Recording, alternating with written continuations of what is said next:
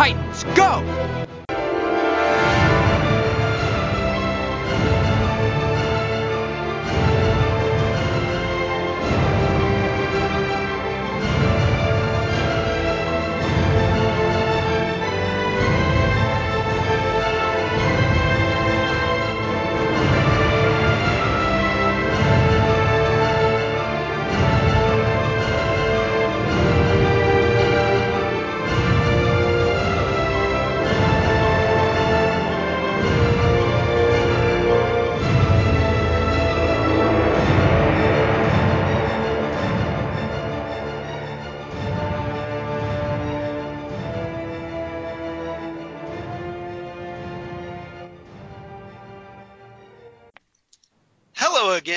Titan Talk fans. Welcome back to Titan Talk, the Titans podcast. I'm one of your co-hosts, Charles Skaggs, back for the last time this summer in Doom Manor as we get ready to throw the curtains over the furniture, board up the windows, and uh, raid the fridge. And uh, we're ready to talk the season one review. And I'm here, of course, with my Titan Talk co-host, Jesse Jackson. Welcome back to Titan Talk once again. Hello, Charles, but I'm not the big deal. The big Oh, deal you're, is al- you're always a big deal. You're no, the biggest no, no, deal. no, no.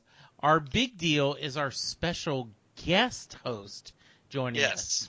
Yeah. So if you remember way back here about uh, around episode 23, 24, somewhere in there, we did a little Titans season one review with a certain DJ Nick from Milan, Italy. And uh, DJ Nick back in Doom Manor, ready to talk the Doom Patrol season one review. So welcome back to Titan Talk, DJ Nick.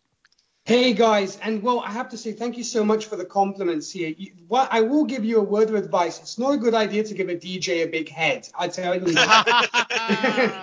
that. Well, you you have your camera off, so we can't see how big your head is getting. so. exactly. Right now, as I said, you know, well, thank you very much for that lovely, lovely introduction. And I'm really looking forward to uh, this recap with you. We had a great time when we uh, did the recap for for Titans, and so I'm sure this will be uh, just as fun. Yes, and Yeah. uh, of course, everybody, you know, DJ Nick is uh, the host of the Whiskey and Cigarette Show, which I hope all of you are checking out. And uh, if not, shame on you. But uh, he's always kind enough to help us out here and, and on other podcasts like Next Stop Everywhere, the Doctor Who podcast that Jesse and I do. So um, I'm definitely looking forward to this, and I'm definitely looking forward to getting Nick's take on uh, Doom Patrol. I'd like to know what uh, what uh, you're thinking. So. Um, so just right off the bat, in general topics, Nick, uh, what's your been what's your what's your evaluation of the season, this first season? Well, Charles, if you recall when you and I were actually talking um, Doctor Who last time, I did Mhm. say there was a lot to talk about. I kind of gave a little bit of a cliffhanger there, saying there would be a lot to discuss. well, here you go. Here's your, here's your forum. exactly. Now we now we get to unveil that. I have to say, I was n- I was not expecting a show like this, to be honest. I mean, I thought it would be in the vein or similar to Titans, but boy was I wrong. I mean, this was just. I, I, I could not probably even equate it to another show because it had a little bit of uh, the 1930s movie Freaks. It had a little, bit- little bit of David Lynch in it. It had a little bit of Deadpool in it. It had a little bit, a little bit of X-Men in it, but it was its own thing. But I could see these influences in it, and I absolutely loved it from the more darker moments to the very light-hearted moments too. I think it was a very interesting show, and I, and I was absolutely blown away by this first season. Excellent. Yeah, well had- said. I, I I totally agree with you. Um, this was, I think Charles, because he was a fan of the comics, had a little bit more of a thought what it could be. Right. But as we've talked about, you know, he has been over the moon of how well they have represented this comics and the series. Now, Nick, I'm kind of wondering, have you were you at all familiar with the Doom Patrol from DC Comics? Uh, had you read any of their stories, particularly Grant Morrison's run? I have to be honest. I oh, before the, the the series started, I actually grabbed a few issues of the Grant Morrison comics just to get a feel of what I was getting, what I was getting myself into. Right. I'm not I'm not widely read on the subject, but being enjoying most of what Grant Morrison has given us. Mhm. I, I particularly enjoyed this because we know the guy can sometimes go a little bit off the deep end. Just a little so- bit. Just a little. Yes.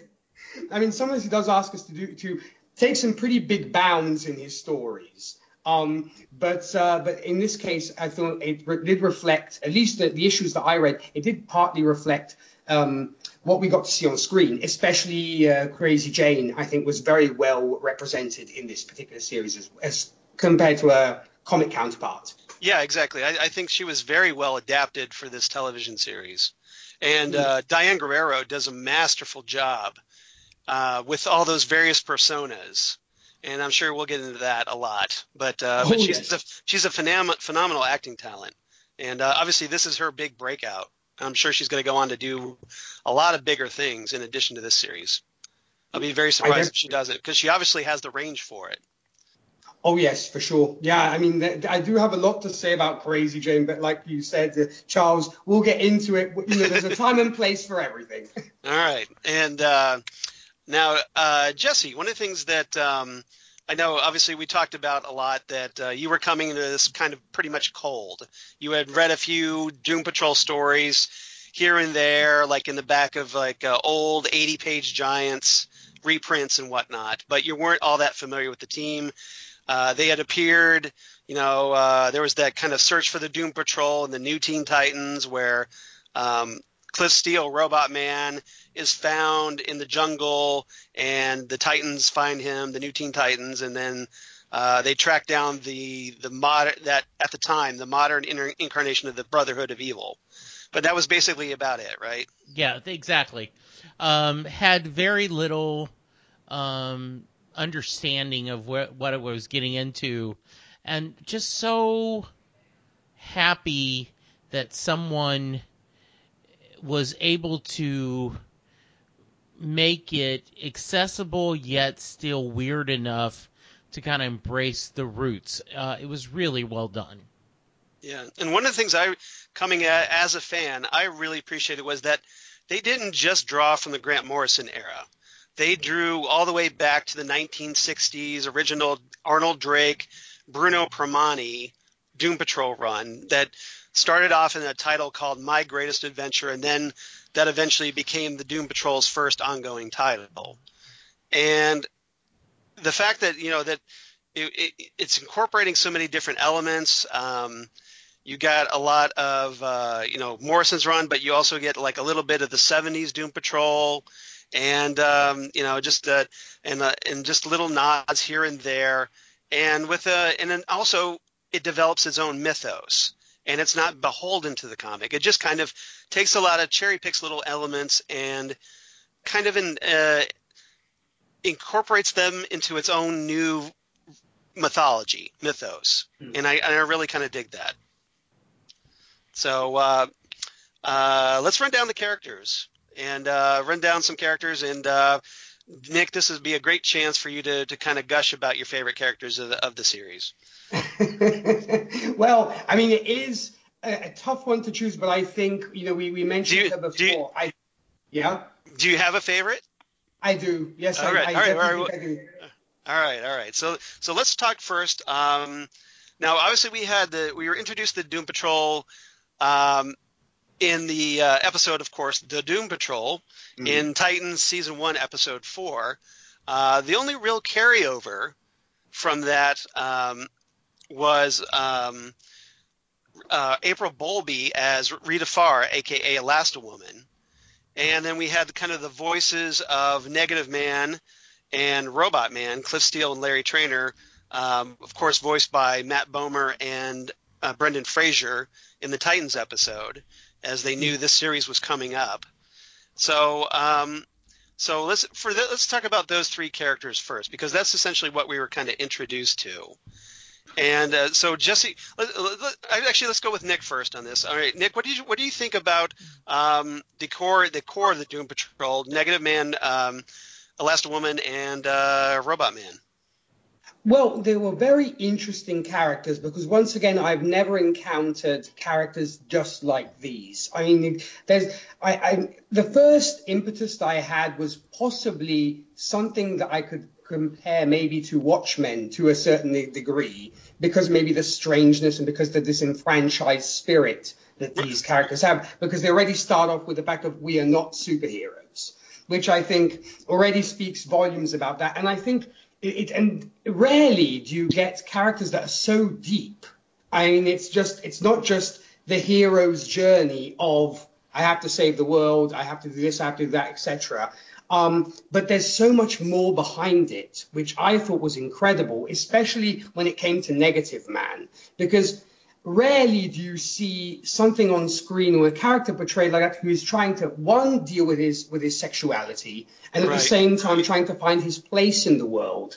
Um, that when I said there was a little bit of a reminder of um, old horror movies uh, mm-hmm. or should say particularly controversial movies, it made me think, for example, David Lynch's The Elephant Man, for right. example.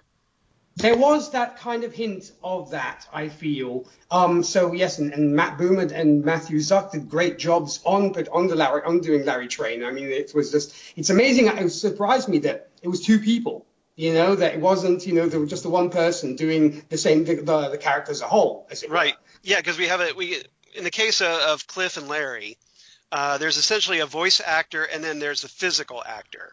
And obviously, we get Matt Bomer as the voice of Negative Man. Brendan Fraser does a great job as the voice of, of Robot Man, Cliff Steele. But we also get the physical actor of Matthew Zuk as Larry and Riley Shanahan as as Cliff. And it, it's kind of a credit to both both actors, I think, because one's able to give that physical performance, but um, the vocal actors have to match up with that and make it feel like it comes from them.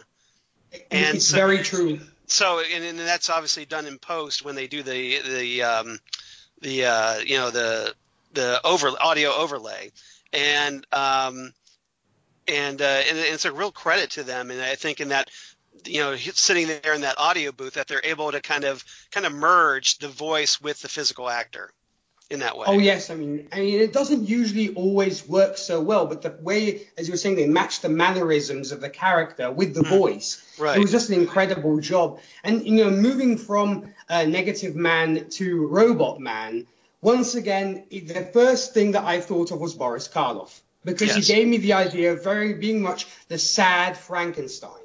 You know, the very sort of misunderstood creature in certain ways that he moved in certain situations and that, that was the first thing that came to my mind was Boris Karloff. And to be honest, at first I was not a fan of Robot Man, or rather, I should say, before he became Robot Man, because obviously, let's be honest, he's not the most likable guy. He's right. not exactly an ideal parent or an ideal husband. Um, yeah, he's he's he's basically a bit of a jerk. He's a bit of a douche, and uh, he really is. Yeah, and it, and he only really becomes a better human being as a robot, which is one of the great ironies of his character is that um, he's a horrible human being, but now as a robot, he's he's much better uh, individual, and he's becoming he's learning more about himself, and he's having more empathy toward others.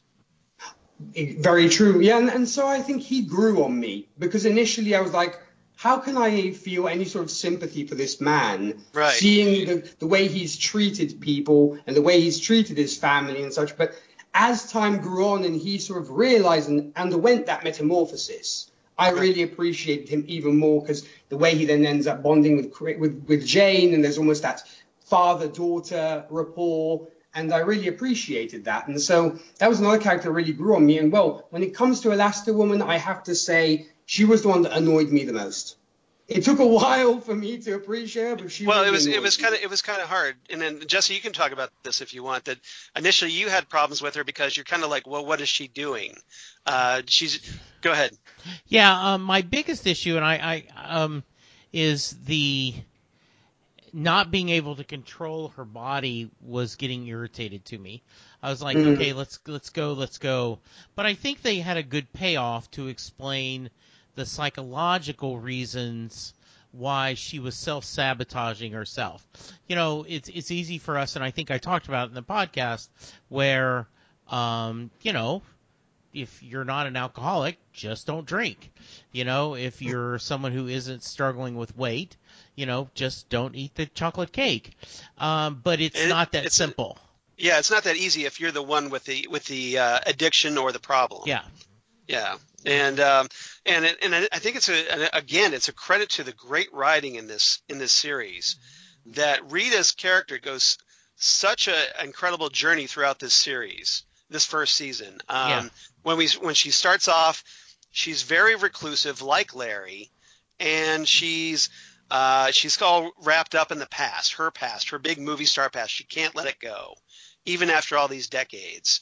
And she has these obvious, serious self-esteem issues and guilt over the things like the the baby story, which we find out later and whatnot. And there's just all this baggage that she's got, and it's kind of it's keeping her from growing as an individual.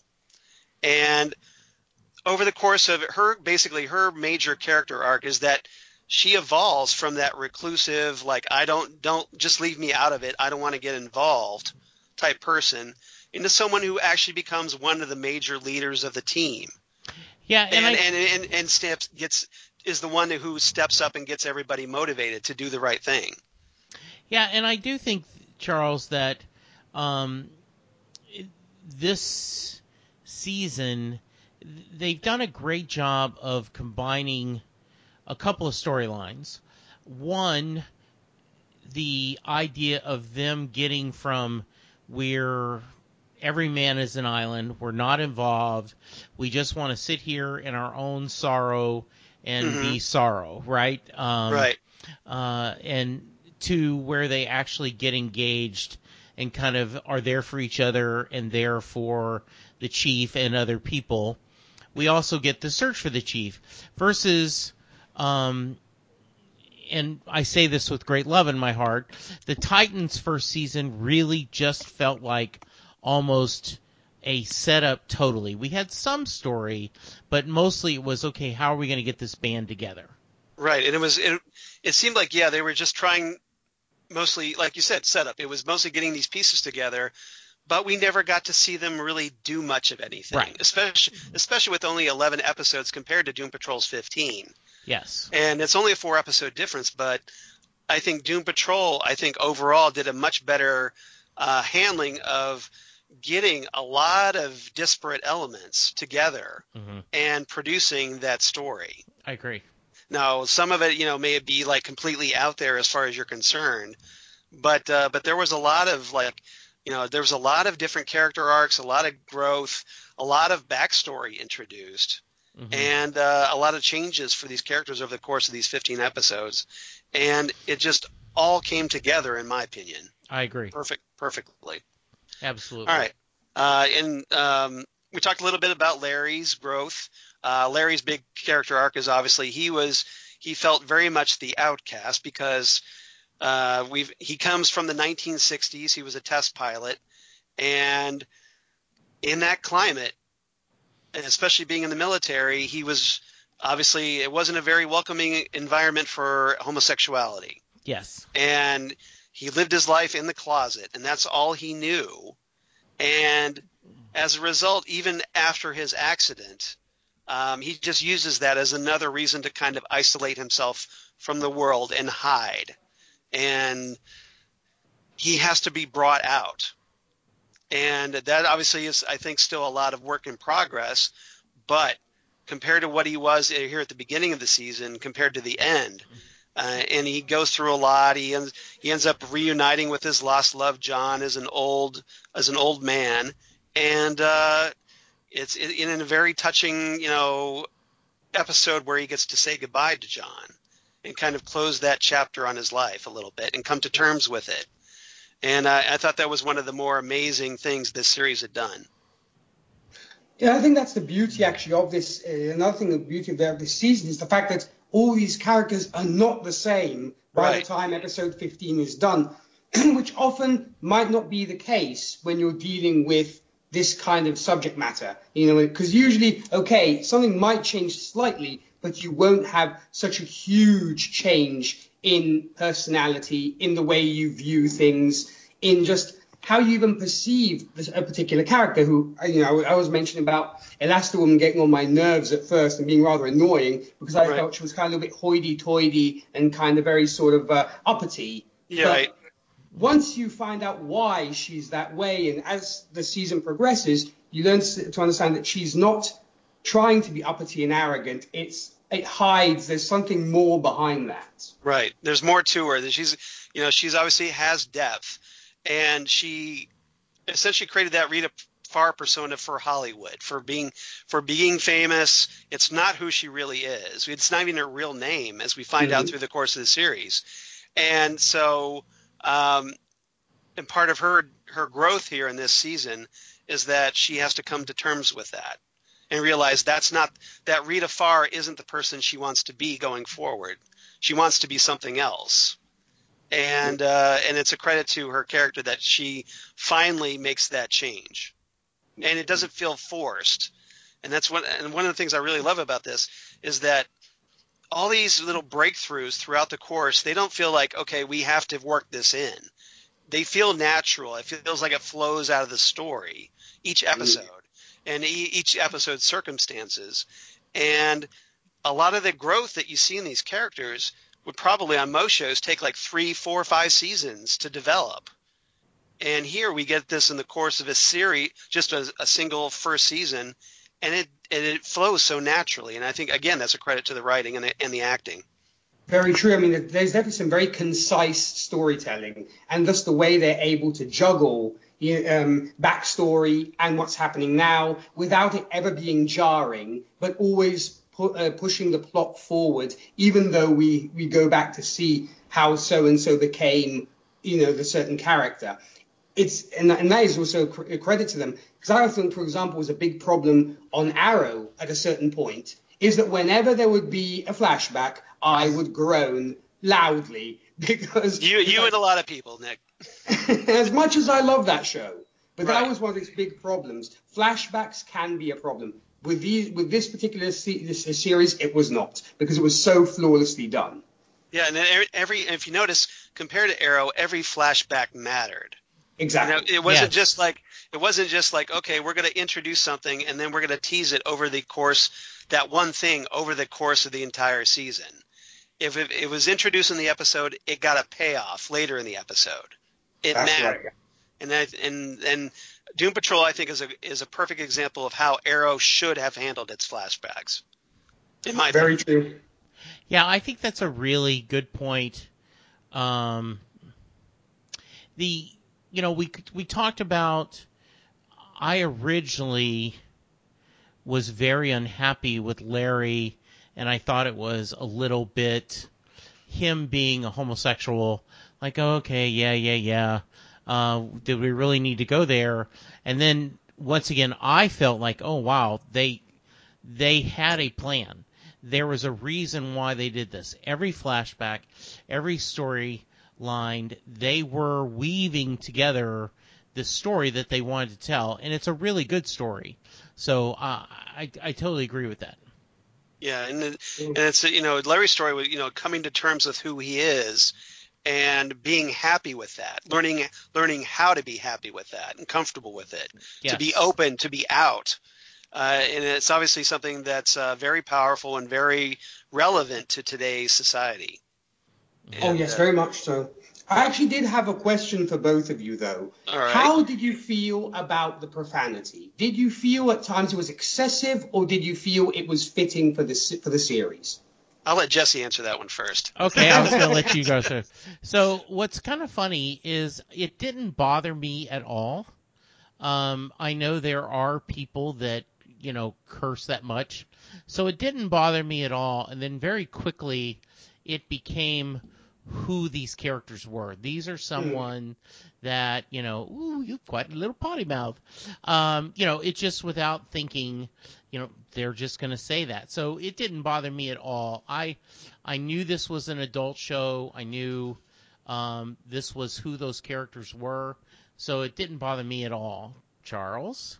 Uh, as for me uh, we had when we had talked about this earlier in yes. the season here so we've kind of talked this one a little bit.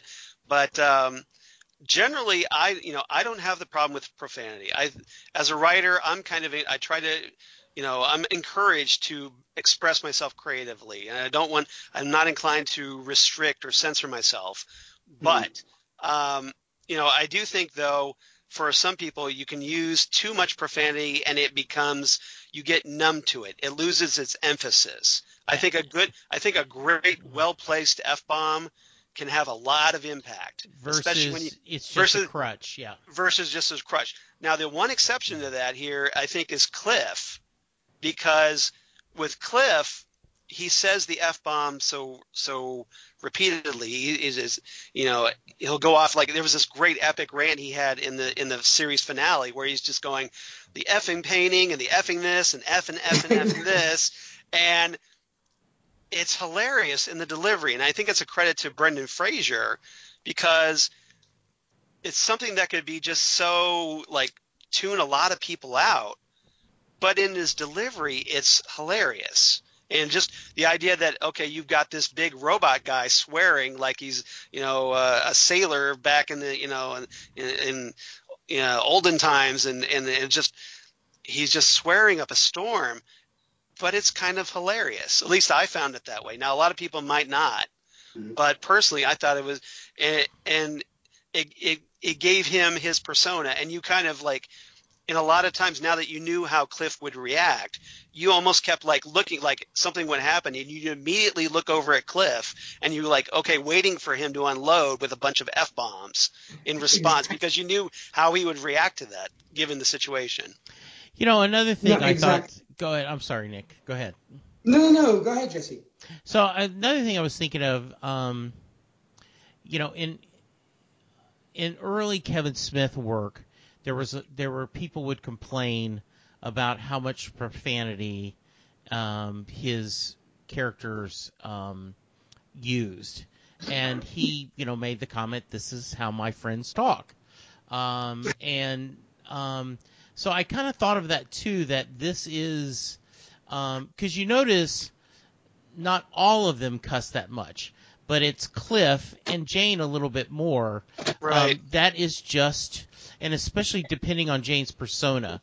But uh, yeah. it, it yeah, baby, I- baby doll doesn't swear so much for some reason. Go yeah, figure. exactly. Yeah. Yes. Get out Hammerhead and you're in for trouble. exactly. Exactly, Hammerhead, it yeah. gets a little tricky. Yeah, yeah, exactly. Mhm. But um, all right, so let's talk some other characters. Um, we should probably obviously talk about Jane, Diane Guerrero, Crazy Jane. Uh, let's talk about Vic and Joivan Wayne, Joivan Wade, and um, and uh, the Chief, Dr. Niles Caulder, played of course by Timothy Dalton of James Bond fame, and lots of other great things. So uh, so guys, what do you think? What do you think? Let's start with Jesse this time. Uh, what do you think of Crazy Jane and uh, and or Cyborg and the Chief? So I think that, um, and I think the reason this show is so wonderful is depending on what day you ask me, uh, I will tell you which one, a different person is my favorite character. But, um, you know, Jane is consistently, um, it's so much fun watching the actor perform. I love the different personalities, the, um, the different personas and and so and how wild that is. You know, I've told you one of my favorite episodes is when we were in the underground and Mhm. seeing all the different actors coming in to play the personas. So I love that. I love the um while I I I'm a fan of her story even though it's a horrible story. You you do not want that to happen to anyone, but to have that explained and well it's done and the reason why it happened is um, while horrible a, a great story. Um, I think the chief is a little bit of a jerk. Um, you know, I said I did, that I from did the try beginning. To, I did, yes, I did try to warn you Yeah. about that. and um, you know, and I and I continue to feel that way. Uh, I don't know if he absolutely was worth, uh, you know, having to go look for him, but they decided to. Um, and then, um, you know, you and I had a really interesting discussion about Cyborg at times can be very childish. Uh, but it's the relationship with his father. His father and him, it's a very complex relationship. And so um, I like that about them. Um, he's, you know, he's not my favorite character, but I do think he is. Um, it, it was him being in there was an important part of the show. For nothing else, we wouldn't have covered it if he had not been in there. Well, yeah, of the link to he's- the Titans. Yeah, he's essentially our Titans connection to this. Yes. And because we get to talk Cyborg, and hey, he's part of the Titans, so yeah, Yeah. it worked out really well. All right. Um, so Nick, what did you think of these three characters? Okay, well, I'll try and I'll try and keep it as concise as possible. Go for, go for it. Go for it. but the, less, the more you talk is the less I have to talk, and everybody likes that. So okay, well, first off, when it comes to Crazy Jane, I thought I had seen some incredible acting work when I'd seen um, McAvoy in Split and in Glass. Because I thought to myself, to be able to handle those kind of personalities and just switch it on and off constantly, that is the mark of a great actor. But uh, Diane took it to another level. That was the whole. He set the bar, and she basically raised it. Um, and uh, it's incredible how well she is able to do that because I'm sure there are not many actors or actresses who can pull it off with such panache and to the point to where we believe it. It's not. Um, it doesn't in any way uh, make us feel. You know, we. It, it, it's 100% convincing, and that's what I loved about it. Uh, not to mention, as, as Jesse was saying, her backstory and the reason why she is the way she is, and why also her personality is very standoffish when it comes to to uh, bonding with other people. Even though Robot Man does his best to reach out to her, but she continues to be standoffish for quite some time. And the idea of the underground, I love that because once again, to make a uh, the connection to Split, it made me think of the light, which is a similar concept that uh, the character of of, uh, of McAvoy has in Split, where the character, the personalities take the light. So, uh, you know, they stand in the light and they, you get that change of personality. But when we actually got to see the underground, my jaw hit the floor. I said, "We're seriously getting to see the underground." I mean, it was mind blowing, and I Yeah. love that.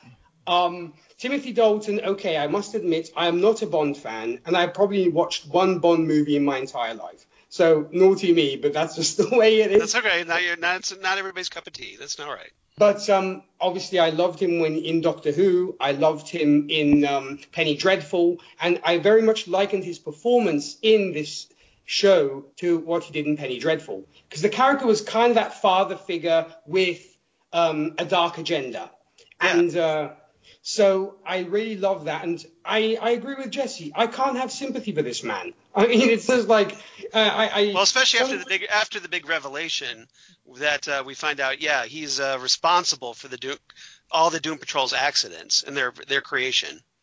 Exactly. I mean, at first, I was all for let's help, let's save this guy because he helped these unfortunate individuals to deal with their problems. Right. then when we find out he is the creator of these problems, like, um, no, I don't think I want to save you anymore. but, uh, and Cyborg, I agree, he does tend to be childish at times, but I would, at a certain extent, blame it on the youth of the also the character it's himself, because he's not yet the cyborg we know, who then becomes a member of the Justice League and everything else. I mean, I believe they mentioned that he's getting there, but he's Right. not. You know, because obviously they, they, they pick on him saying, you know, Batman would do this better, or, or why don't you call Superman, or this kind of thing. And but I like his his the the the, the job that um, the actor portrays of Cyborg, and I really love the the relationship between Silas and Vic. It's a very interesting relationship. It's a very multi-layered relationship, and I mean, it can sometimes come off as being an overbearing father, but you believe that he he really does love his son, even though maybe at times he's he finds it hard to show how much he loves his son, or he finds it difficult to express his love. Yeah, I uh, I totally agree, and uh, very well said by both of you. I totally agree.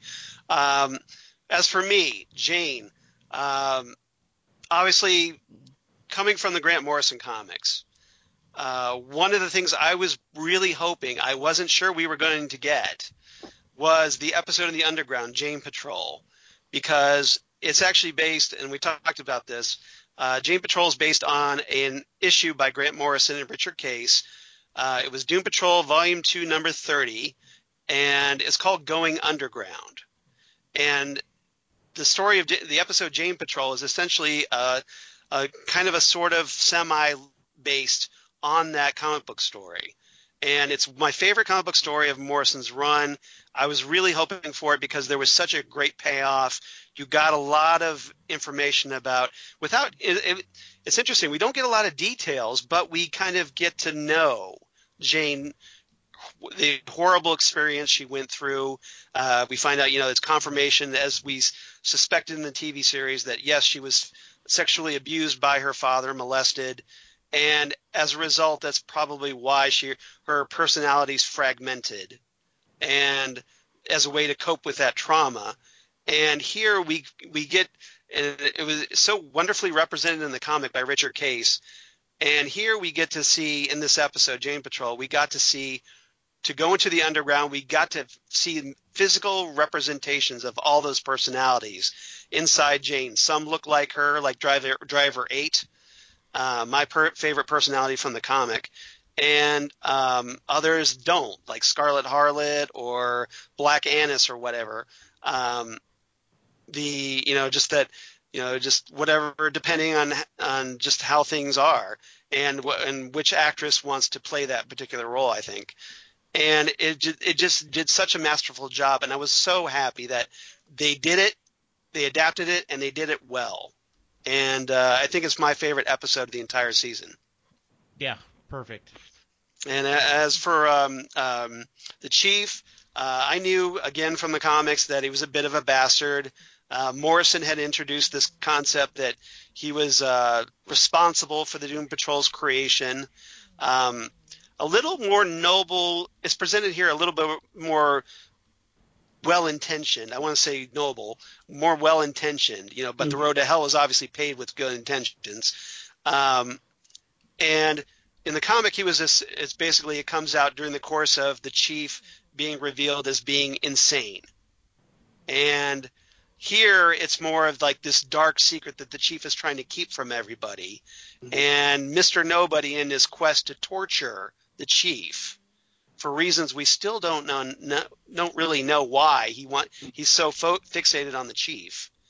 Um, he he reveals this secret, and as intended, it is it basically blows up the entire apple cart. You know everything everything that everybody knew was wrong, and all their trait whatever faith they still had in the chief is completely obliterated by this point. and as a result, it makes a lot of conflict and also drives uh, their character act interactions with one another going forward. And I'm looking forward to seeing that in season two. Oh yes, I think there's definitely a lot to look forward to, and I think that they, they really blur the lines, which is great because mm-hmm. you know the so-called good guys are not necessarily 100% good. They are you know gods with feet of clay, as it right. were. While even the villains themselves ha- are not completely evil, as it were. There is depth to them. That's why I say it's not your standard superhero fare where good is good and bad is bad, which is great because humans are not that way. You know, we're not entirely all good and we're not entirely all bad, I feel. So I think it was also, it humanizes the characters that much more. And, and as horrible as the chief is, and yes, he is horrible at times, um, he does try to look out for the team. Mm. And he's he's also trying to protect his daughter, as we find out, because it's ultimately revealed that Dorothy Spinner, uh, one of the characters from Grant Morrison's run, is his daughter in this continuity, and he's trying to keep her secret because she has these vast imaginative powers and these powerful psychic powers, and he's essentially trying to protect her from the world and also the world from her. And so so he you know he is he again it's it's well intentioned. It's just the his methods i think are questionable about how he proceeds with that yes um, and you know they'll talk about you'll do anything to protect your children um, so I, I, get that persona and uh, i'm certainly not judging him mm-hmm. uh, but it just it especially and we don't know that at the time. Uh, it makes her a very complex character, and as you said uh, very well, Nik, he isn't somebody that you're going to embrace um, mm. at all. So yeah. Yeah, and uh, as for Vic, uh, obviously I came, you know, like I was a fan of Cyborg because of the New Teen Titans. That's how Jesse and I got into knowing one another was through our mutual love of the Teen Titans. So um, I was a little skeptical at first when they decided to make Cyborg a member of the Doom Patrol because he hadn't been that in the comic books. He's either been with the Titans or they moved him into the Justice League when Geoff Johns and the, the new 52 happened in 2011. But um, you know, I was ultimately that set him up to be in the Justice League movie and so on. So I wasn't sure how they were going to approach it, but I like how they did it, and I like Joivan Wade, who Jesse and I knew from Doctor Who because he played a character named Rigsy. Yeah, that's right. In, in uh, episodes like Flatline, and uh, he was really good in that, and um, and Face the Raven, and um, so we kind of knew of him, but obviously here he's playing a much different character than Rigsy in Doctor Who, and uh, you know, and he, he's he's very likable in the sense that he's the traditional hero, and that he's that contrast for the rest of the Doom Patrol kind of being these misfit superheroes. He's yeah. the one trying to like get everybody focused and hey, we should have meetings and go off and we'll do this and we'll battle the bad guys. And you know, he's trying to corral. He's essentially herding cats, and yeah. And and the, and all the problems ensues from that. And they have obviously a lot of them, especially um, Cliff. They butt heads with him because that's not who they are and there's that kind of personality conflict. And ultimately, though, they all kind of learn how to coexist and respect one another and come together as a family to the point where ultimately Vic kind of chooses the Doom Patrol over his own father. Especially yes, after, especially after, especially after various revelations come out, uh, especially the fact that uh, we find out that Silas chose Vic, um, chose to save Vic over his own wife, and um, so essentially, Silas is a little complicit in his mother's death and let um, Vic kind of shoulder the blame for that, which I've personally kind of found kind of reprehensible, and I'm I was very sympathetic toward Vic, and we Jesse and I kind of got in that little debate about that. Um, because you know that uh, whether you come from the father perspective of like, hey, I did this for a reason, uh, versus the son's perspective of like, how did you, why did you treat me like that and let me feel that? You could have kept that. You know, you could have told me the truth. Yeah. And then and then you wonder why I have trusting trust issues with you. But you know, kind of a callback to something Nik and no one else has heard yet, though by the time this comes out they may have. Yeah. Um Charles and I discussed earlier today Krypton. And there is a scene where um, the main character is unhappy. Seg-El, yeah. Yeah, that um, no spoilers because you know just in case. but um, Adam Strange does not give him information that he thinks would be very important. And we, Charles and I talked about when's a good time to tell that. So I kind of feel the same thing that Vic's dad had the same kind of okay. When would this be a really good time to tell you this? So I. I just, but then, and my argument as well, it's never really a good time. You just kind of mm-hmm. have to, yeah, you kind of exactly. have to rip rip the band-aid off and right. tell. Yes. Yeah. So, yes. But, uh, but that's me. So, uh, but uh, all around, I think there's you know a lot of great, and you know, obviously the team comes together, and uh, like I said, becomes this this kind of uh, misfit family and mm-hmm. because everybody else in their life has kind of essentially let them down or died, and uh, so they kind of all they have are each other in this in this predicament that they're all in. All right, um, now let's uh, let's talk about our big bad. Let's talk about Alan Tudyk as Mr. Nobody. Eric Morden, uh, we find out, is originally applied to be a member of the Brotherhood of Evil back in the day, didn't go so well, and uh, so he ends up becoming this like insanely powerful being, Mr. Nobody, thanks to the help of von Fuchs, Heinrich von Fuchs, a uh, Paraguayan uh, ex-Nazi scientist. So, uh, what's everybody's thoughts about Mr. Nobody? And we'll start with Nik. Well, I have to say he is a brilliant villain. He absolutely is an incredible villain. And once you, you've never seen anything quite like this because he breaks the fourth wall, mm-hmm. which you don't get in other shows. Usually he doesn't address, you know, you don't have these kind of shows where the villain addresses the audience. And uh, that's why it made me think a little bit of Deadpool when, you know, even in the comics, where sometimes Deadpool turns to the reader and says something, and the character's looking at him and saying, Who are you talking to? He's like, I'm talking to them, you know? But, um, and, I, and I think that's absolutely brilliant. But not to mention, uh, the, the man's voice is incredible. I mean, he could read the phone book to me, and I'd be very happy to hear his voice, I tell you. And not to mention, I, I, I, have yet to see this, but I know that he voices Iago in the in the Aladdin movie. So right. I'm really looking forward to hearing how he will portray Iago because I think he's uh, the perfect choice for that particular character. But in general, um, I love the fact that not only does he break the fourth wall, but he's also as multifaceted and multidimensional as his character because he doesn't just he's not evil for evil's sake. There's more to it than that, and also the fact that he comes from a sad past himself always been a failure. His his wife's not particularly happy with the way he's he's been doing things. She loses faith in him. So we can almost sympathize with him to a certain degree because it's like the guy's been down on his luck. He granted he he decides to go the not the best route to solve his problems. You know, going going to ex Nazis, bro, that's probably not the best solution. But um, other than that, I, I really enjoyed him, and I think he makes for a great uh, nemesis. And the, the the way that him and Timothy Dalton work off each other is great. They just go. I could actually see them off offset going out for a beer because I can tell they really actually enjoy being in each other's company. They they did have really good. They have really a great on-screen chemistry, didn't they?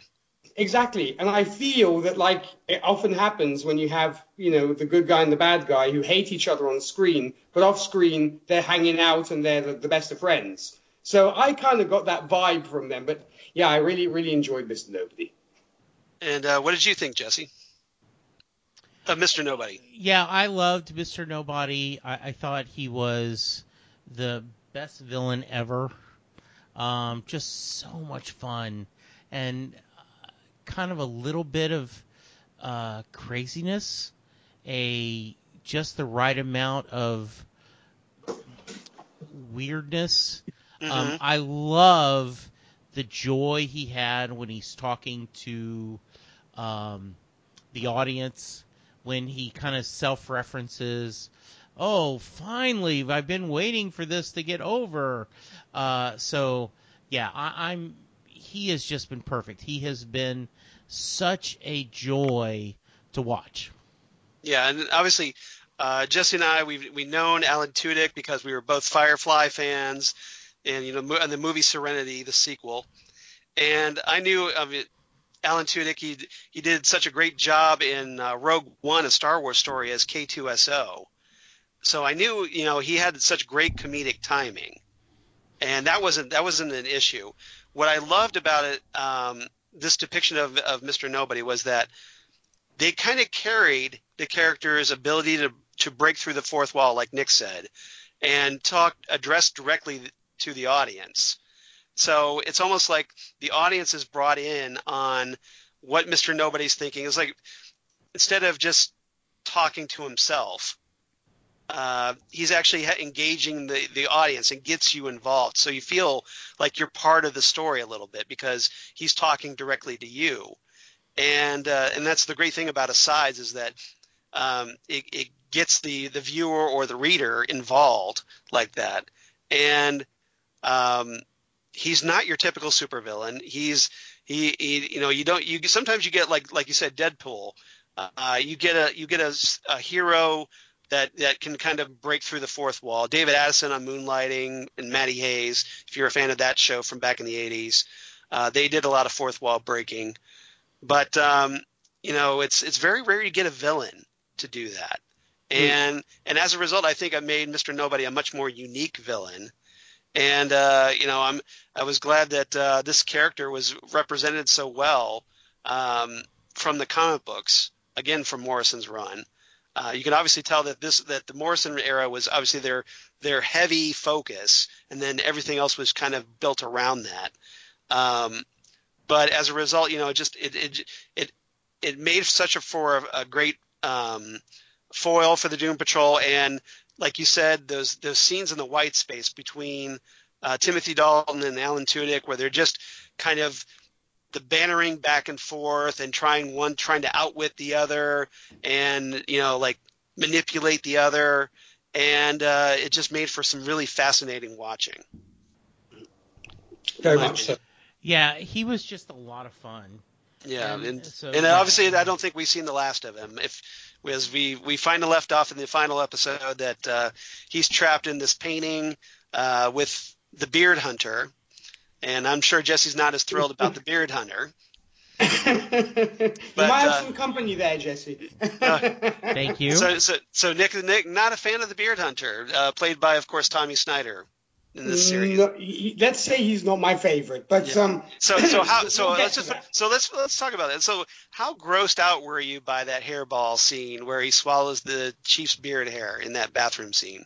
You know what the bad thing was? I was actually having dinner while I was watching that episode. oh, horrible. yeah, so I like, you know, there I am happily. Uh, And it was probably enjoying- something, probably something like pasta or something.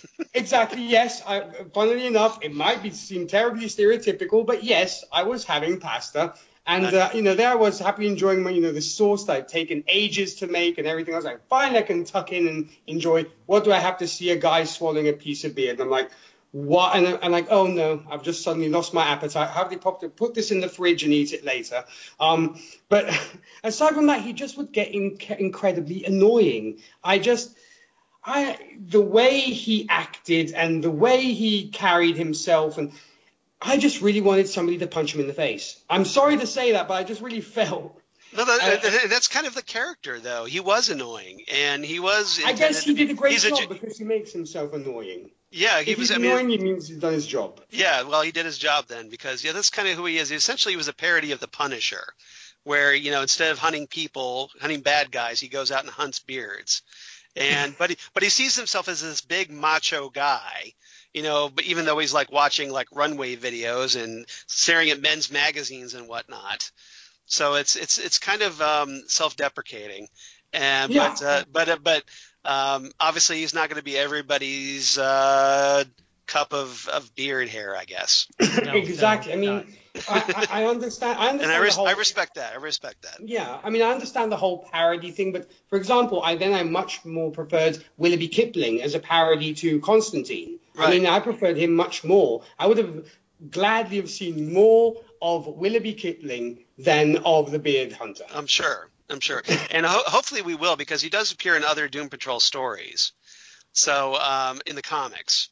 So uh, hopefully, yeah. Let's let's talk about Mark Sheppard a little bit. So now that you brought him up, it's a good segue. Um, Willoughby Kipling. Obviously, we talked about this in the episode that in the comics he was created because at the time Grant Morrison wasn't allowed to use John Constantine, and um, so Morrison came up with this kind of version of Constantine, uh, much more of uh, more of the you know the offbeat magician type, um, much more into little strange artifacts and whatnot, and um, so I want to get Jesse. Let's talk about you. I know you're a big Mark Sheppard fan. Again, a lot of Doctor Who connections in this in this series. Mhm. Absolutely. And so, so what did you think of Mark Sheppard as Willoughby Kipling? You know, I, I just loved him. I thought he was really, really perfect. Mhm. Um, the idea that we're, um, you know, kind of the magic, the kind of not just um, doing wax on, wax off, the way Doctor Strange does it in the Marvel Universe. I Mhm. mean, there was actually some mechanics, um, kind of like Art, um, artifacts. Yeah, um, the Jim Butcher, you know, series. Oh yeah, yeah, the Dresden Files, yes, Yeah, which I'm a big um, fan of. Yeah, yeah, um, loved that TV series, and um, so I think that's uh, kind of neat to see that. And um, once again, Mark Sheppard is so interesting. It's always fun to see him. So yeah, that's you know, I just was really glad to see it. And how about you, Nik? What did you think of, of uh, Mark Sheppard as Kipling? Well, first off, it's always wonderful to see so many familiar faces from Doctor Who. I mean, because we, you know, as you know, you two fellow Whovians of mine, you know, I think we felt right at home seeing all these, you know, familiar faces from that show. Uh, but as I mentioned before, I'm a, I really enjoy Constantine. I really actually enjoyed the TV series Constantine, and I'm still very much trying to recover from that show being cancelled. Oh, yeah. oh, and as as the former co-host of Dangerous Habits, the Constantine podcast, I'm right there with you. I mean, I'm, I'm, I'm glad they worked him into Legends of Tomorrow because I was so glad to see him again, and that's why probably I enjoyed uh, Willoughby Kipling so much because loving the Constantine character, at least they let this guy smoke. You know, because they're always right. finding an excuse to not let Constantine smoke. I mean, let, let the guy smoke at least one cigarette. Come on now. Well, actually, Matt Ryan did try to did work in a few uh, cigarettes here and there on on the TV series, but again, that was NBC, a network TV series, uh, compared to DC Universe, which obviously they can get a lot away with a lot more and be more it, faithful. Yes. Exactly. No, and, and plus, I immediately went to Constantine because, of course, you know the the coat and of course the the strong British accent and just, right. the, the attitude. The attitude. Exactly. I mean, it was John Constantine to a T, but even more exaggerated and even more strange. Maybe less of a punk compared to, to, to Constantine. But I really I really enjoyed his interaction with the characters, and I was so hoping he would stay on longer. I mean, I believe he only did two episodes on yes. Doom Patrol. Yeah, yeah, it was a two-part storyline. Yeah, the um, uh, was it here the uh, yeah, Cult Patrol and Paw Patrol. The, the fourth and fifth episodes of the season. And I really, really hope they'll bring him back for season two because he was really one of the really cool recurring characters. And plus, as even Jesse was saying, it's always wonderful to see this guy. I mean, I, I, I enjoyed him in The Impossible Astronaut and in Day of the Moon, of course, from Doctor Who. So whenever he's on screen, it's always a pleasure to see him. Yeah, like I said, uh, Grant Morrison did a couple more storylines with him, including like he's a major player in Morrison's final epic storyline uh, during his run. So uh, we should hopefully see him again. Fingers crossed, as long as Mark uh, Sheppard's schedule holds up. Good. That, uh, yeah, maybe with Supernatural ending, uh, maybe that'll be that'll help out a little bit too. Yeah. Hopefully. So, uh, but yeah, so more more Mark Sheppard is always a good thing. And uh, I, I kind of enjoyed seeing him because he plays, you know, compared to Matt Ryan's Constantine, uh, Sheppard's Kipling seems to have a little bit more mileage on him. You know, like he's kind of been yeah. a little bit more around the block, so he's kind of a little bit more jaded, if that's possible, than Constantine. And uh, and that comes through, I think, in his performance. And he makes him much more sardonic, and uh, he's got a lot of great lines and snappy comebacks with everybody. It was a lot of fun. All right, um, let's talk about some other characters. Let's talk about uh, Darren Jones and the Bureau of Normalcy because they're kind of uh, some significant players, especially as we get dive into um, Larry's backstory when he was a prisoner of the ant farm. And uh, so, Jesse, what did you think of um, Darren Jones in, in this the introduction of this uh, this group, this Bureau of Normalcy that is essentially uh, out. Their mission is to wipe out all things abnormal and exterminate them. Yeah, I um,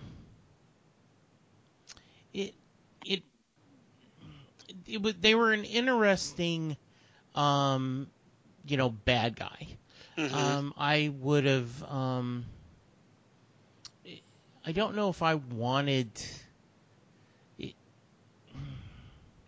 it they I guess my problem, and not really a problem, is the um, a little too close to home sometimes with the amount of prejudice and the amount of people trying to fight against what's the quote unquote unnatural. So right. I think that's I mean it was a great villain, but I think if anything that's what bothered me a little bit is that oh this is a, hitting a little too close to home it is it, something it, that it is should, a bit uh, yeah disturbingly relevant to our times right now. That, well said Charles exactly it's very relevant. Yes. Yeah. And how about you Nik? What did you think of uh, the Bureau of Normalcy? I cannot but echo Jesse's words because be, I have to say it, it is very much a um, representation of the, the unfortunate, tumultuous political times we're going through and the ideas that are being perpetrated. And it's very sad to see certain ideas returning to where if right. it is different, it is considered evil. And I suppose I probably feel this myself. Look, being Jewish, I feel this a lot even more so. And that's why maybe it was a little bit disturbing for me to see this Bureau of Normalcy because those kind of images immediately came to my to my head, you know, of right. fascism, of, you know, if you are not like, you know, in such and such a way, you are slightly different, or you you know, profess a different religion, or you or just that. And I mean, that, I think that's why maybe it was so um, disturbing and just almost so creepy because of that fact that it so mirrors society today and the political regimes that we are seeing throughout the world, unfortunately. So, um, but it, but it was brilliant. It was it was very good, and I think it was also a good social commentary as well. Because I think I believe these shows do need to do that. Maybe without hammering it too hard, but right. but saying you know wake up people. This is what is going on. Obviously they took it to the extreme in this case but i think it should they're try i think they're trying to leave a message of this is what's going on. You know you don't want to get to the point of where there is this situation. So i, I appreciate it more than anything for that. Yeah and i'm sure you're going to get a lot of criticism because uh, not you personally, hopefully, uh, but you know that the show will get criticism because yes, they're addressing certain political topics, and that a lot of people they don't want to see that in their entertainment. And God forbid, yes, they they actually are are taught something about society and learn kind of are asked to think, uh, question what's going on in their society. And that's kind of what Doom Patrol does here, but I don't think they beat you over the head with it. Exactly, it's just more no. just they kind of more focus on the repercussions of it and how it affects everyday people, whether you view them as everyday people or not. It's people, living people, breathing people that, that are just trying to go about their day, live their lives, and just want to live a life of happiness and acceptance. And uh, unfortunately, there's people out there that don't want that to happen, unfortunately.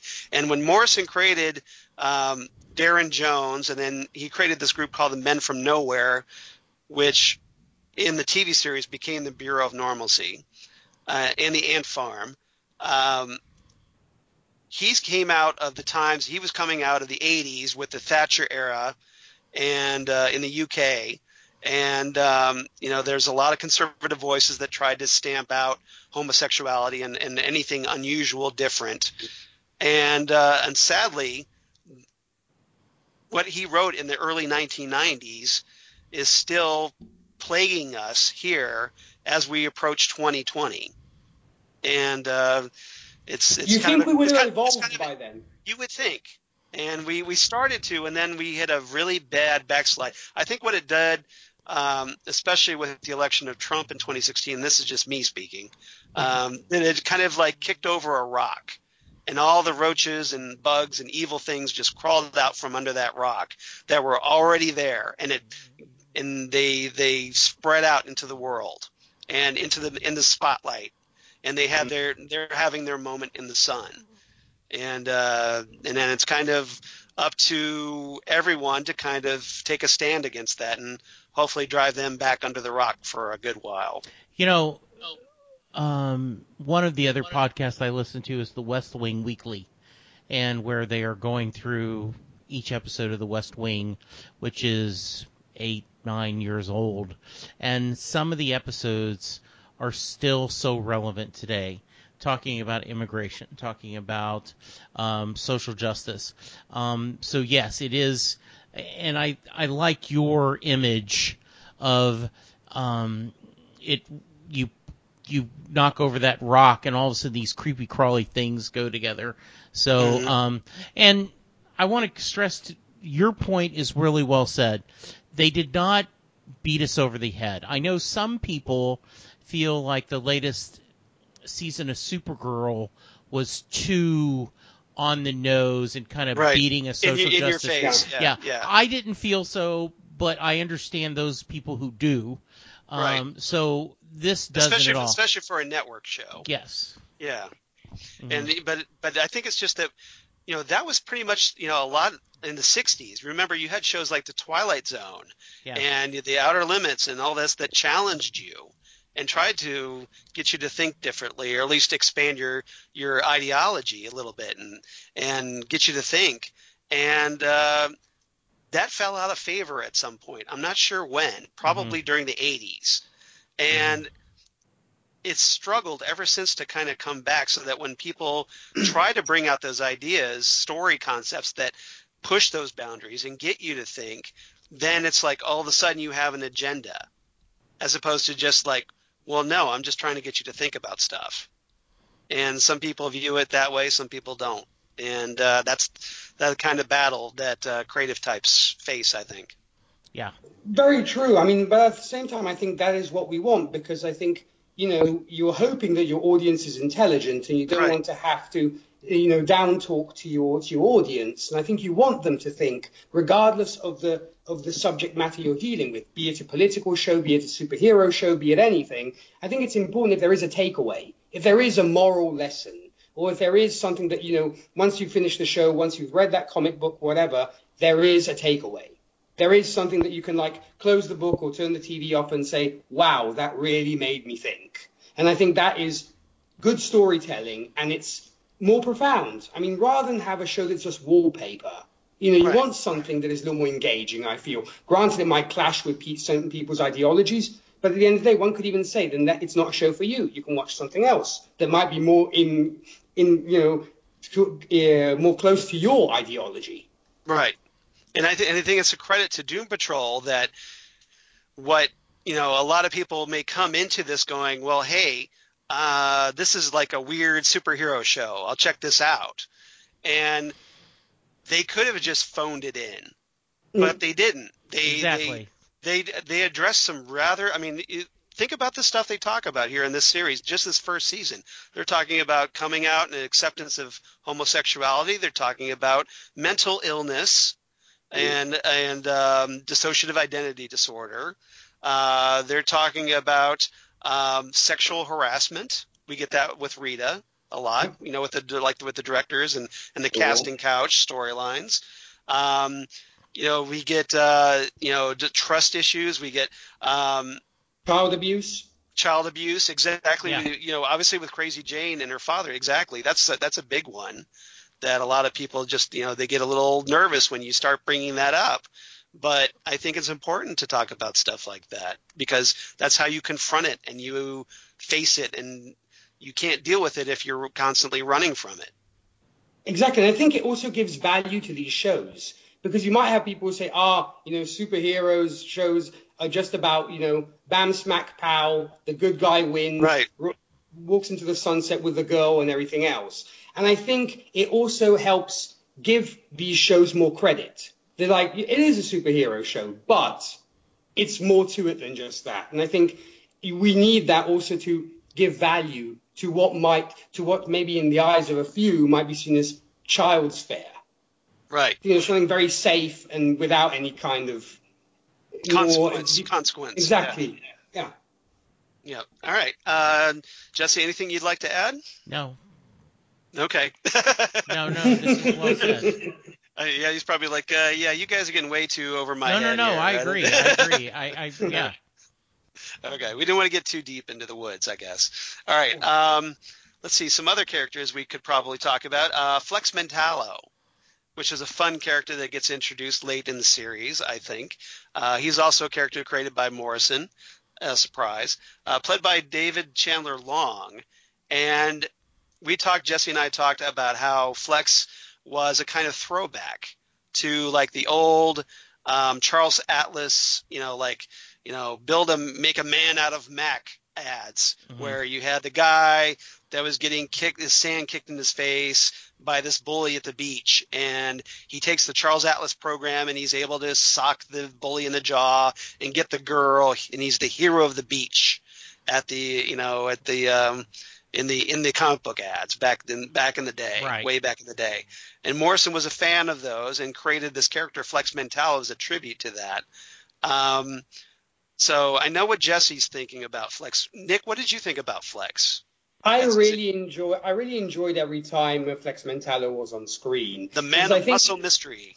exactly, and I think it was also great because it was a contrast to the the the, the Doom Patrol team members. Right. Because the fact that they are so dysfunctional, you know, they are they all have their issues and they either are disfigured or they have, you know, this these kind of problems. And here comes this guy, you know, this, this perfect looking guy, yeah. Exactly, handsome, muscle bound, what have you. And he maybe portrays the idea of being more of the, shall we say, inverted commas, run of the mill superhero, as in, you know, incredibly buff, handsome, and, you know, all the girls are fawning over him. And, right. and I think it was fun also for that reason. And also the fact that he is so good natured you know, there's nothing that will irritate the guy. You know, when the, when you see Robot Man trying to get a rise out of him, there's just no way he can do it to kind of to jog his memory.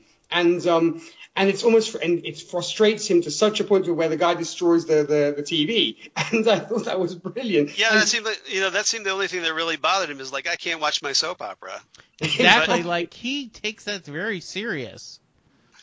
Yeah, and I love that. I think it, and uh, and uh, Devan Chandler Long did such a great job of, of portraying him. Mm-hmm. Um, and and because because you know you could have just played him straight as a straight strong man, you right. know, and that was it. But I think he also gave him charm and the fact that he is kind of almost so peace loving and such. I, I really really uh, loved him, and I thought it was a great contrast to kind of the gloom and doom we had, no pun intended, in the Doom Patrol itself. Yeah, and there was that great there was that great hilarious scene in uh, penultimate patrol, the the the uh, 14th episode of the season where um, Flex is trying to get the team into white space. Yeah.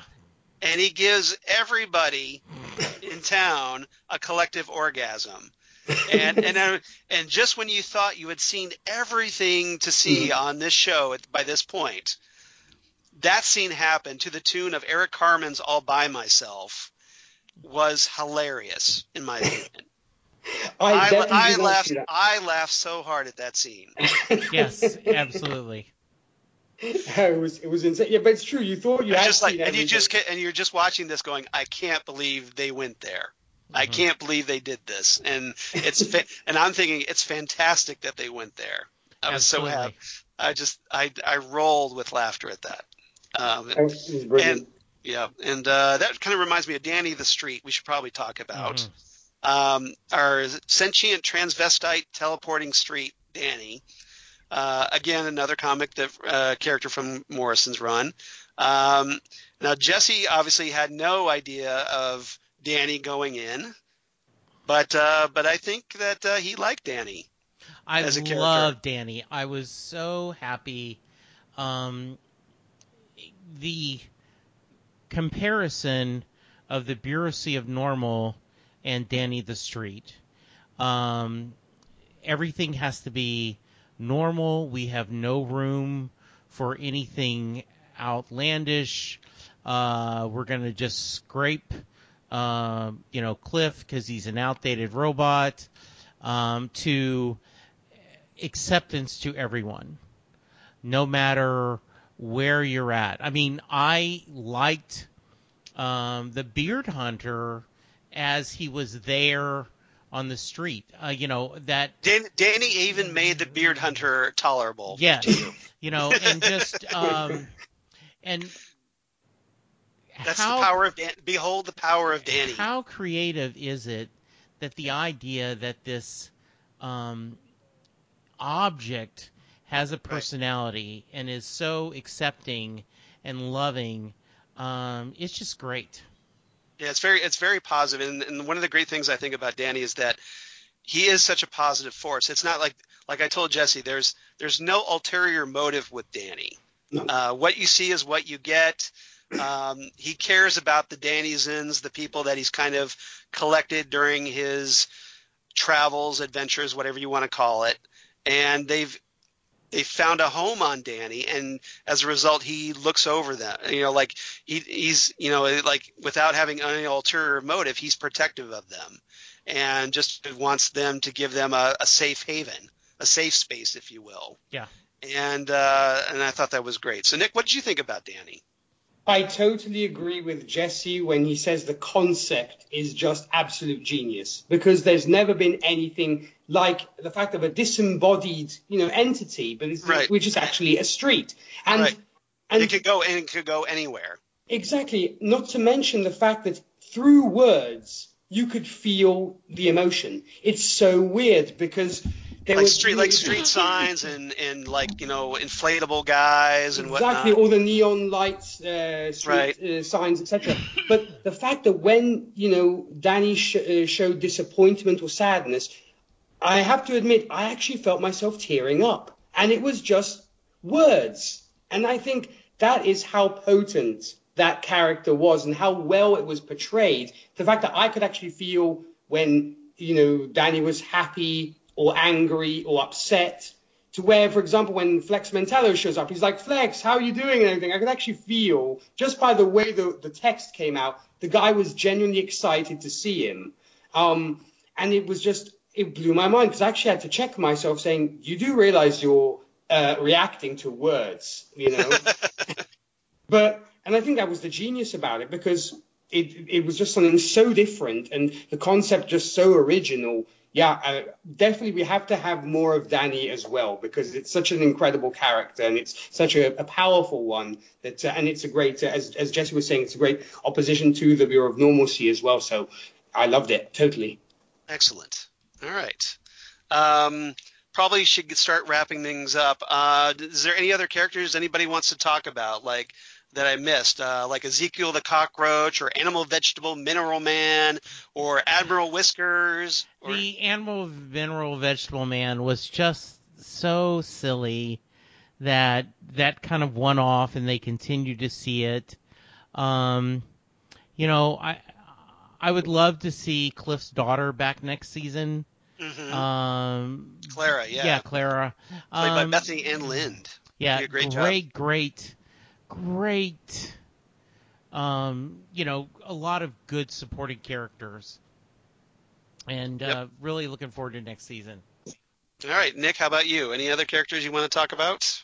Well, though I, I guess we probably won't see more of him, I really enjoyed what we saw of, of Von Fuchs as well. The, Oh, yeah, the whole Heinrich von. Fuchs, yeah, Fu- Fuchtopia.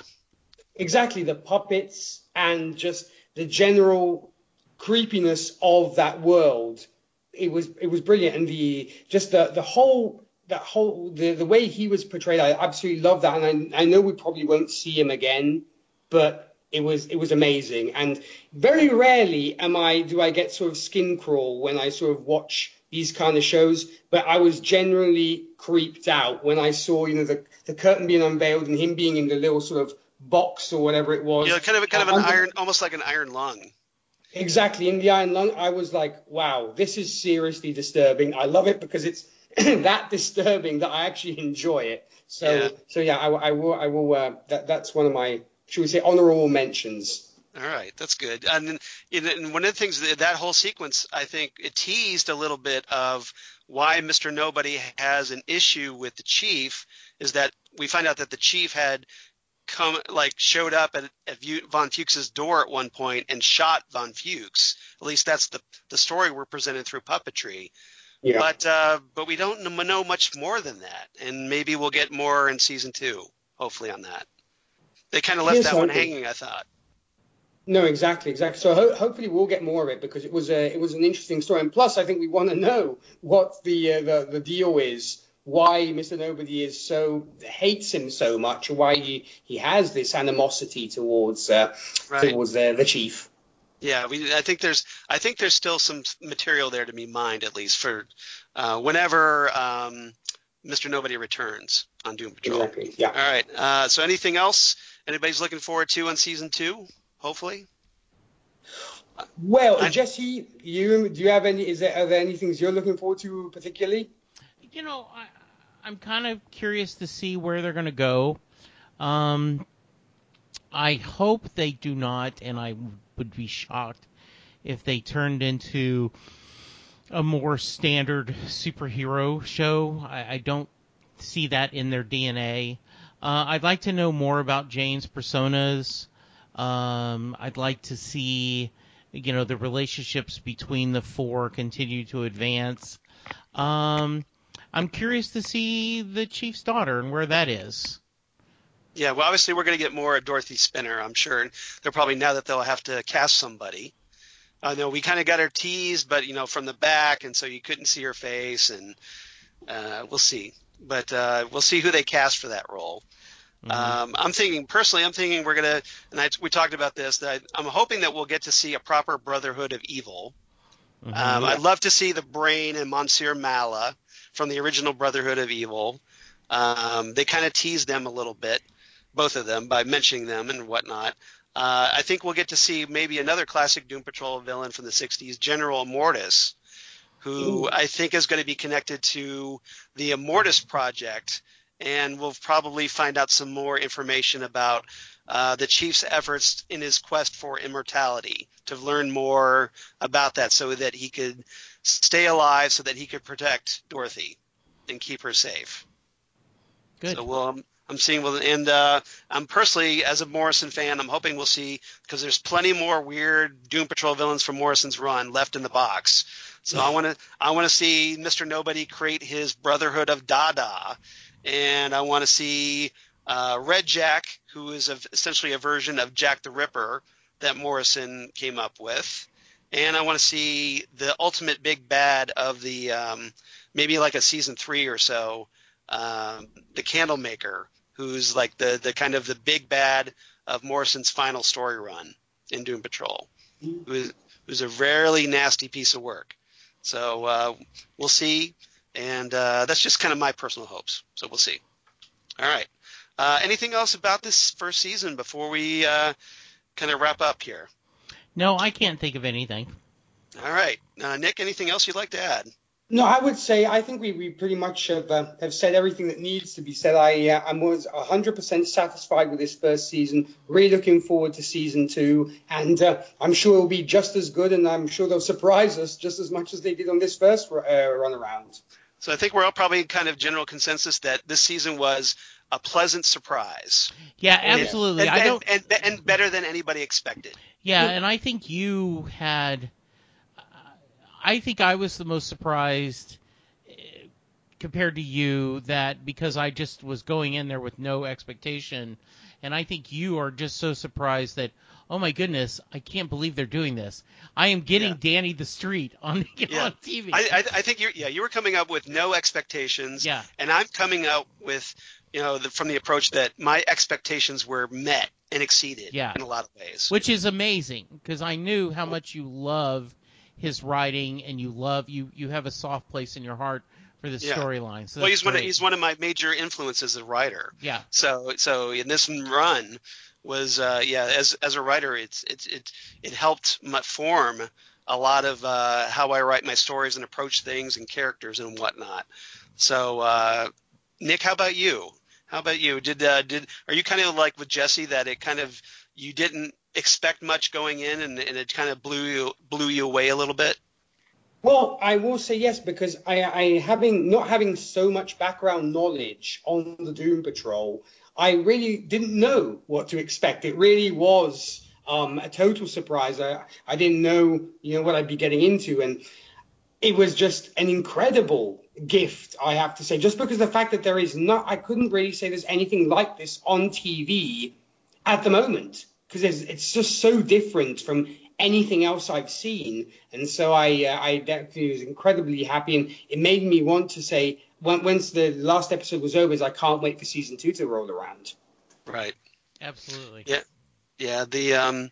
Yeah. So uh, does does it make you want to go back and actually check out more Grant Morrison comics of Doom Patrol? That for sure. I that, my that was actually on my to do list. Once I I finished this, I said to myself, now I'm going to go just as I did the Doctor Who marathon from 63 to 2018. Oh, nice. I'm going to do the same thing with this. Well, you got Doom Patrol Very Volume nice. 2 Volume 2 number 19 through 63 to read. So that's that's like 44 comics right there. So uh, plenty for you to to sit back and enjoy. And I I hardly recommend picking up the big brick, the Doom Patrol omnibus that that could probably kill somebody if you wanted to with it because it's so ridiculously heavy. But um, uh, highly recommended. So anybody wants anybody looking for some Doom Patrol to kind of get them through the off season, obviously I definitely recommend uh, going on DC. You can go on DC Universe because hey, you're already paying for the service, so you might as well read the comics, right? And uh, checking those out. And it weighs a lot less than the brick omnibus. I'll say Absolutely. that. Your iPad's a little lighter than that. All right. Um, uh, Titans Tower news before we sign off. Um, just real quick, I just kind of wanted to mention that Jesse and I, um, because with uh, Doom Patrol ending, and it's probably going to be a little while before Titans season two, that uh, he and I are kind of we're going to kind of uh, close up shop temporarily on Titan Talk. Uh, hopefully, we'll be back around October. I'm guessing for season two. But in the meantime, he and I are going to be talking Krypton season two on another podcast for the Southgate Media Group, the Phantom Zone podcast, which uh, I've mentioned here and there.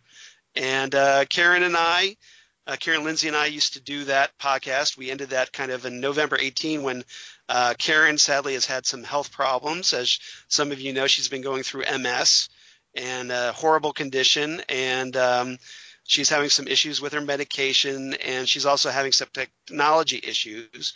So um, Jesse has been kind enough to uh, agree to um, join me there on Phantom Zone, and we'll talk Krypton for probably the next ten weeks or so, and uh, then we'll probably come right back for Titan season two when that picks up in October. So I think that should work out great. So hopefully, I'm asking uh, if you enjoy Jesse and I what we do here please check us out on Phantom Zone Podcast. We just recorded our Krypton Season 1 review earlier today, and that's going to be episode 153 of the Phantom Zone, and hopefully we'll get that posted shortly within the coming week. And uh, in the meantime, um, uh, Jesse, is there uh, anything you'd like to add about uh, our taking on Krypton? Yeah, um, I really think we, we um, if you haven't watched Krypton, I think it's definitely worth it. Um, Sci-Fi Channel replayed it, but since you have DC Universe, you can watch them online, and then Sci-Fi Channel coming up as we were talking about this this week will be the new season. Uh, right. Definitely, definitely uh, works. It's a it's a great series, and um, they've done some creative things. Um, coming up on, uh, you can hear Charles and I talk about uh, Doctor Who. You mm-hmm. can even Nik's uh, join them. Uh, uh, next up everywhere. Yeah, yes, yeah, next t- up everywhere. Yes. Yeah, we yeah we talked the enemy of the world, and hopefully we'll be getting that up shortly. Yes. So, good times, good times. Absolutely. It was that was a lot of fun. I enjoyed that, Nik. So yeah, so uh, if you enjoy Nik's work, yeah, check us out on Next Stop Everywhere that Jesse and I also do for yes. Southgate Media. And uh, and Jesse, where else can they reach you on the interwebs? So I am still doing Set Listing Bruce, the Bruce Springsteen podcast I do. Uh, we are um, I'm back recording new episodes. Uh, so uh, we're up to over 300 episodes uh, from fans around the world. And once again, DJ Nik was nice enough to join me and talk about his musical journey. So that was a lot of fun. Uh, you can find me on Twitter at Jesse Jackson DFW. You can find me um, at um, on uh, Facebook on under Lewisville, Texas. If you want to search, because there are more than one Jesse Jackson. Charles, where can they find you? Uh, well, they can find me, of course, at Charles Skaggs on the Twitter machine or at Charles Skaggs on Instagram. I definitely appreciate that. Uh, Facebook, of course, Charles Skaggs in Hilliard, Ohio. Or my blog geeky things, if that'll work. Come on. Damn good coffee and hot. Damn good coffee and hot. Where I talk about all the stuff we talk about here on Titan Talk. Uh, all kinds of uh, Titans, Doom Patrol news, uh, DC Universe, news of my other podcasts I do for Southgate Media, including, of course, uh, um, you know, Next Stop Everywhere, the Doctor Who podcast, the Phantom Zone podcast that we're now doing with Jesse as we talk Krypton, and of course, Ghostwood, the Twin Peaks podcast that I do with Zan Sprouse, wife of comic book artist Chris Sprouse, where we talk about all things Twin Peaks, David Lynch, etc., etc. So if you enjoy talking uh, those topics, if you're kind of that offbeat Doom Patrol quirky kind of person, you kind of dig that stuff, uh, please check us out on Ghostwood. And uh, Nik, where can they find you and all of your wonderful work? Uh, well, uh, to use the musical segue there, if you are fans of country music, be it traditional or today's country music, you can catch us on the Whiskey and Cigarettes Show. To do that, all you have to do is visit our website. That's whiskeyandcigarettesshow.com. That will link you to all our social media and where you can tune into the show, be it FM, AM, or net. Excellent. So um, now, uh, yeah, please do that, everybody, because uh, Nik's obviously great. Uh, he's a he has a lot of great insights, and uh, we just love talking to him. And he's so kind and always uh, has such wonderful things to say about us even though we, we we're not paying him for that. So somehow that I don't know how that works out. I mean, I keep expecting having to write a check at some point. I, I, was waiting for the PayPal transfer. It hasn't come through yet. Oh, yeah, that's so, true. Maybe, or if you're waiting for the EFT, maybe we'll do electronic fund transfer. Yeah. no, but it's, it's always a pleasure, you know. You take, you to... take PayPal. Yes. yes, indeed. Yeah, PayPal. PayPal always works. All nice right. and easy. Yeah, All but right. thanks again for having me on, guys. It's always a pleasure to talk anything with you because you are both excellent hosts and you're so passionate about what you do. So uh, I definitely uh, always have a great time. All right. So uh, in the meantime, if you want to get uh, keep in touch with us here on Titan Talk, of course you can reach us on Twitter at Titan Talk Cast or on Facebook at Titan Talk, the Titans Podcast. And uh, you can drop us a line if you want, TitanTalkCast Talk Cast at gmail.com. Because even though uh, we may not be recording episodes for a while, uh, still going to get the emails, and uh, we can save them up over the summer and uh, until we get back and to talk about them. So you reach us at titantalkcast at gmail.com. Uh, otherwise, we'll probably just um, I'll probably try and work in uh, an episode uh, of Young Justice Outsiders Part Two with Phil Parrish from the um, the uh, oh what's his the Capes and Lunatics podcast, where he and I will be uh, talking uh, the back half of Young Justice Outsiders and episodes 14 through 26. But uh, other than that, um, we'll just come back in October and we'll talk Titan season two and uh, what looks to be an interesting uh, adaptation, hopefully, of the Judas contract in Titan season two, which they still need to wrap up the Trigon storyline, though. Yeah. So we got so you got a lot to do, guys, and hopefully you're up to the task this time.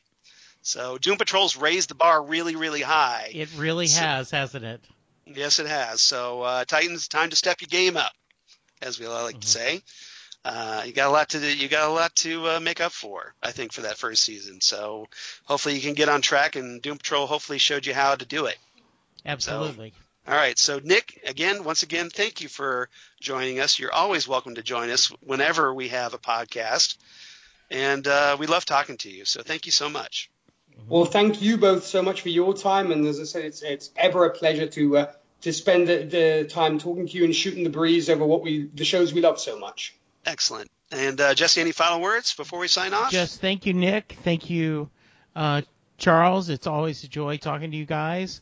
And uh, I agree. Uh, you know, Nik, just anytime you've got something you want to share, uh, I'll throw you on set listing Bruce, and uh, we'll have fun talking music. Okay. Always a good time. Yes, indeed. Thank you. All right. So, deal. everybody, thanks again for listening to us here at Titan Talk. Uh, like I said, we'll be talking uh, maybe Young Justice Outsiders a little bit, and then we'll be back hopefully in October for Titan Season 2. So we'll see you next time, and thank you for listening to Titan Talk, the Titans podcast. Goodbye, everybody.